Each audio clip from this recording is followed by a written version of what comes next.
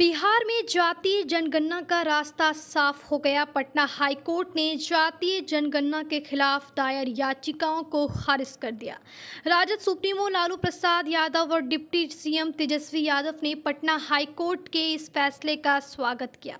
पटना से दिल्ली रवाना होने से पहले उन्होंने मीडिया से बातचीत की। बीजेपी पर हमला बोलते हुए लालू ने कहा कि ये लोग बिहार में और देश में सांप्रदायिक सौहार्द बिगाड़ने की कोशिश कर रहे हैं।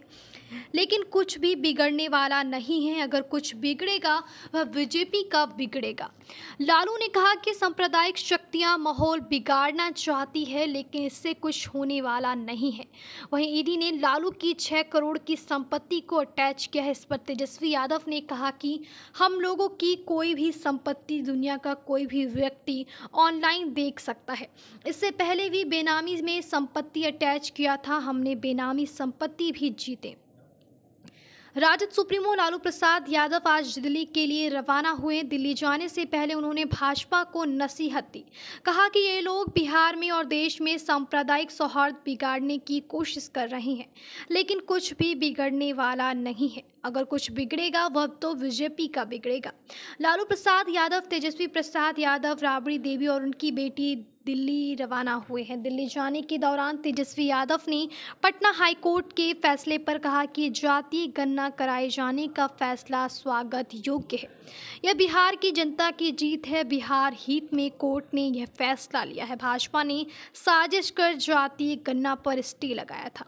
हर जाति में गरीबी है, इससे अब उनकी आर्थिक स्थिति का पता चलेगा। सरकार उनके लिए योजना बनाने में मददगार होगी। नाला सफ़ाई करने वाले, भीख मांगने वाले, गरीबी में रहने वाले लोगों के लिए इसके आधार पर योजना सरकार बनाएगी।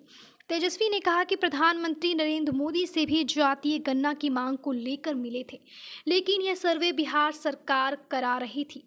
इस फैसले के बाद हम पूरे देश में जातीय गन्ना कराने की मांग करेंगे।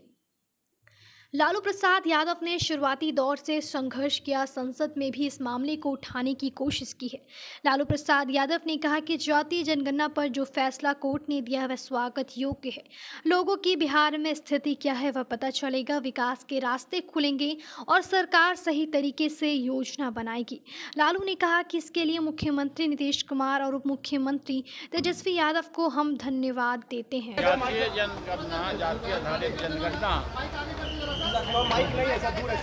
जनगणना आधारित जनगणना का आज जो फैसला हुआ है पटना हाई कोर्ट के द्वारा, ये स्वागत योग्य है और हम स्वागत करते हैं।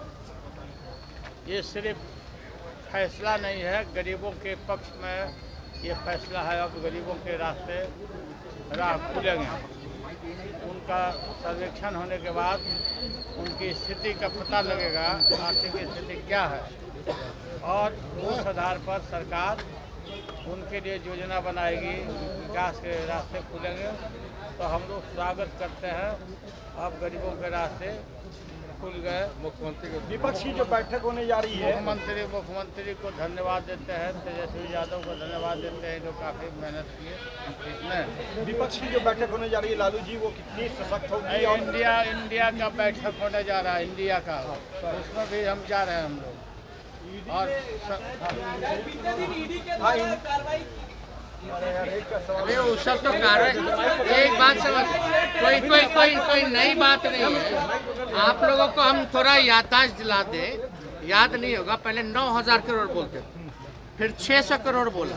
अब छः हज़ार करोड़ की प्रॉपर्टी अटैच जो अटैच छः करोड़।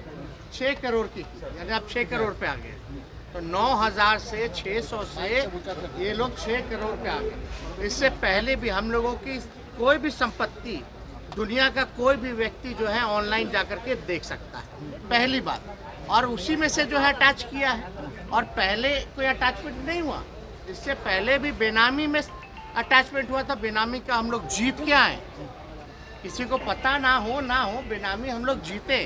और जीत करके फिर आए तो लोगों के सामने और उपाय क्या है? इन लोग का यही काम था और हम लोग तो जान ही रहे थे ना जो अभी एक्सटेंशन हुआ है तो यही सब चीज़ें होती रही। और कैसे काम किया जाए? तो इन लोग को डरने की बात नहीं विपक्ष की बैठक में जा रहे हैं विपक्ष की बैठक में जा रहे हैं। अभी अभी अभी। बॉम्बे में होगा विपक्ष का बैठक। में होगा पहले दिल्ली में लोगों से मिलेंगे हम लोग। आशीर्वाद इजीकॉन ग्रुप भरोसे का दूसरा नाम। हम सिर्फ़ घर नहीं खुशियाँ भी बनाते हैं। आशीर्वाद रोज वैली, जिसमें है premium flats with all modern amenities Patna में लेना चाहते हैं अपने सपनों का आशियाना तो कीजिए हमारे नंबरों पर संपर्क।